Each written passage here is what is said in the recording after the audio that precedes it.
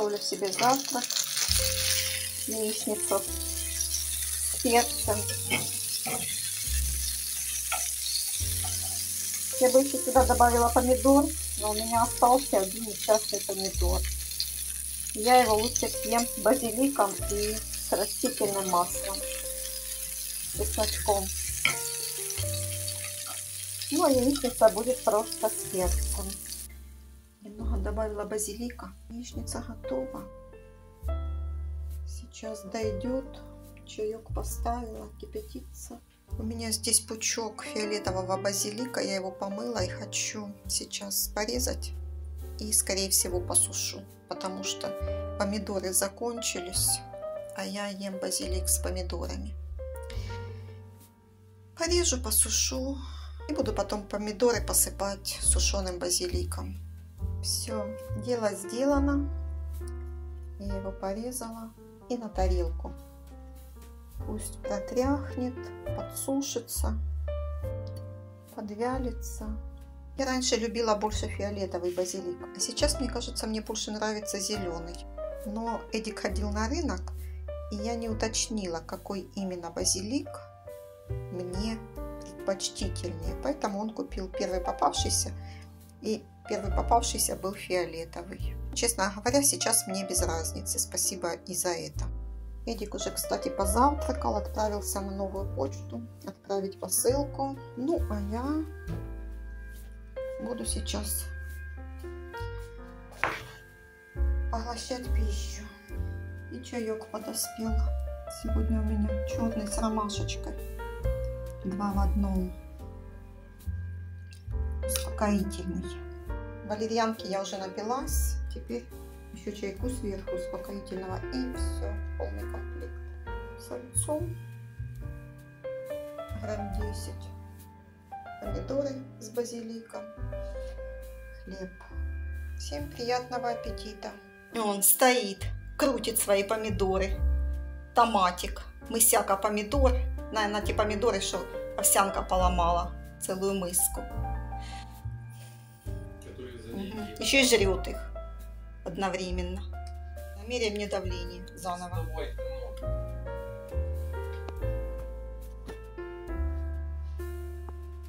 Сейчас полечат.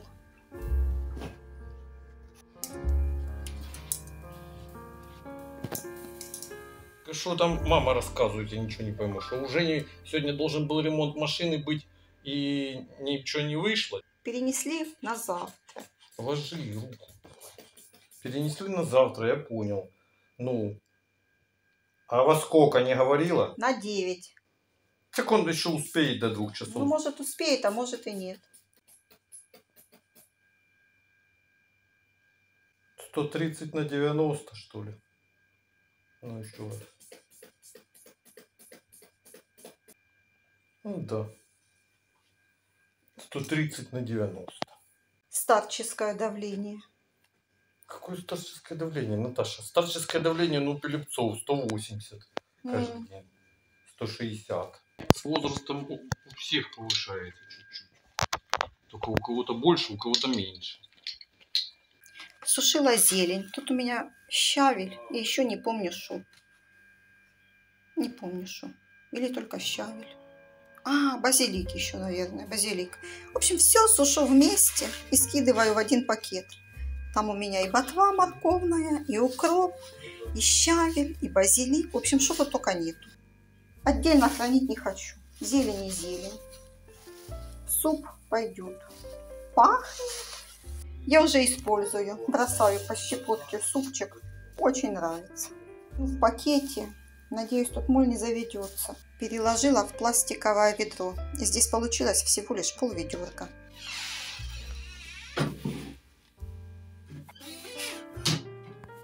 Закончился борщ.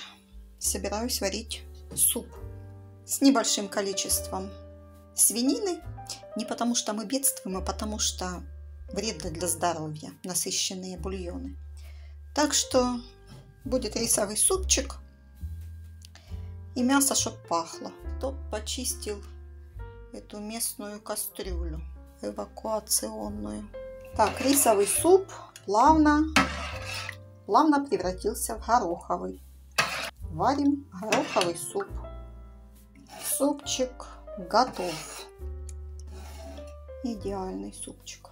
Можно обедать. Вкусно-вкусно получилось. Лаврушка плавает.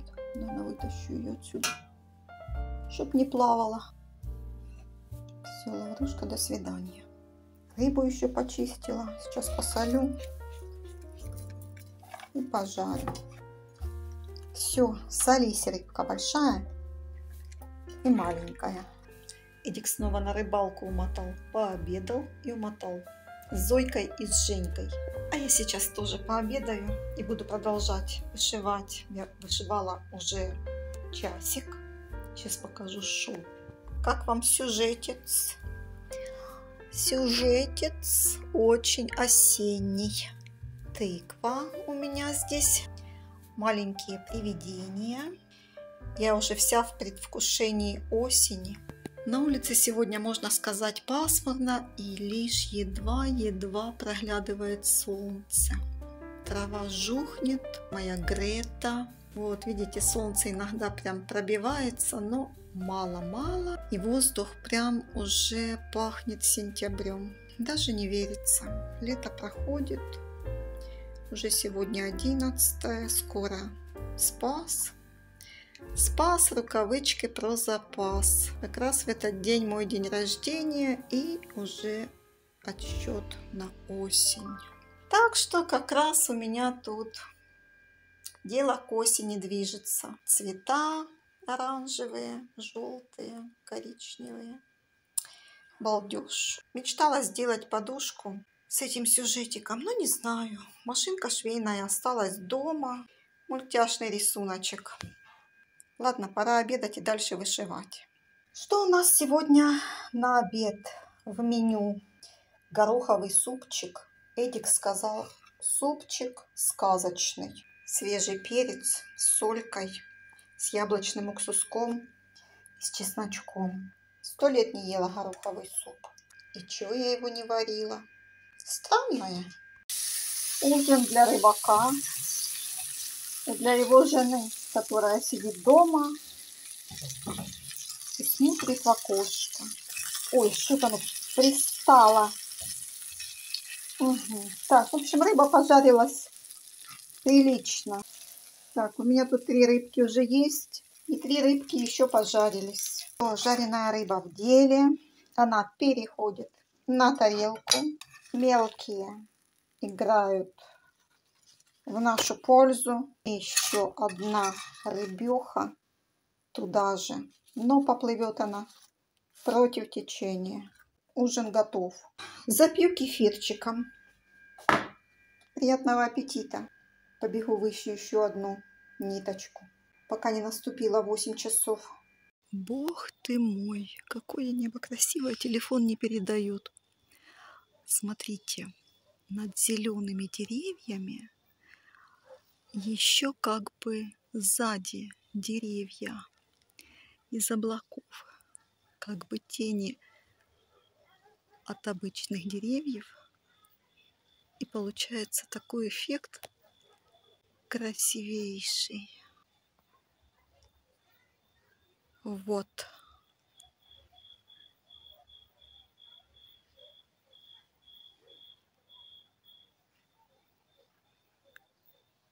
Вот оно. На глазах цвет меняется, становится ярче. На всякий случай спокойной ночи.